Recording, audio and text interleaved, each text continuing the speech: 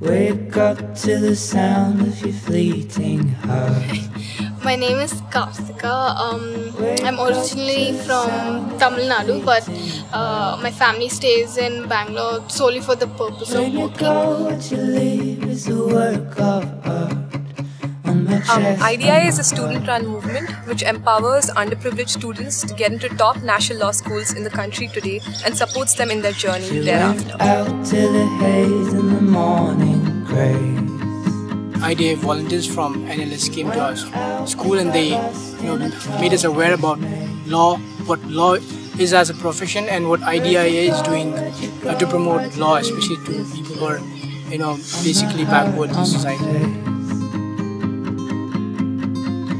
My life is yours, but your love's Training and teaching aspect is the core of IDIA. You train and you teach these students who are very motivated, who are very bright, who are talented.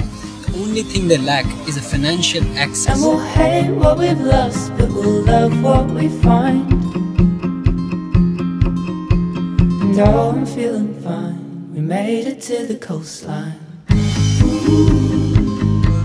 I'm a student from Hindi medium, so if a student come in IDIA who, who is having an Hindi medium background, then I understand that what he feels when he attend when he attend first time a class in English. Live like your love wasn't meant for mine. I think the success of IDIA comes from the fact that our scholars right now are doing pretty well in whichever institutions that they are in.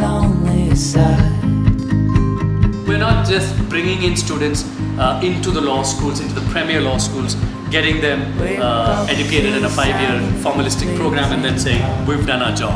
In fact, that's just the beginning. The larger picture is really uh, that we continuously mentor, handhold, guide, and support them uh, to effectively take their place as community leaders.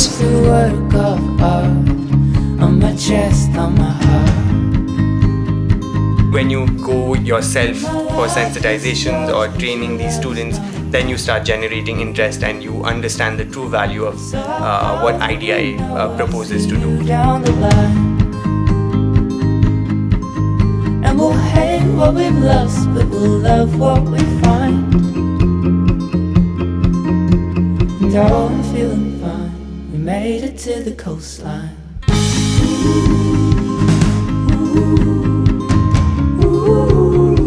After you meet these kind of people like people with so much motivation you realize that like we what we are doing is insignificant